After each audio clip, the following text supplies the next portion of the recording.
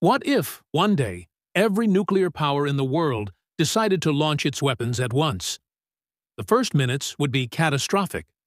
Major cities, New York, Moscow, Beijing, London, Delhi, would vanish in blinding flashes. Within hours, hundreds of millions of lives could be lost. The shockwaves, radiation, and fires would spread far beyond the blast zones.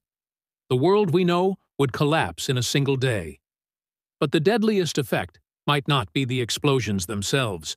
Scientists warn that the massive firestorms would send thick black smoke into the atmosphere, blocking the sun.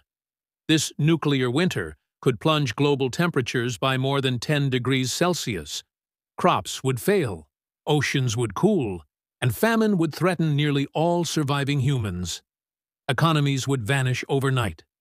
With no trade, no power grids, and poisoned land, governments might fall apart. Chaos would spread faster than any pandemic we've ever seen. Even nations not directly hit by bombs would face starvation, disease, and mass migration on a scale humanity has never known.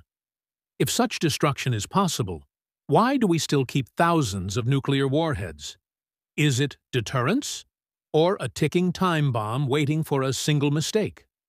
Our species holds in its hands both the power to end civilization and the responsibility to prevent it.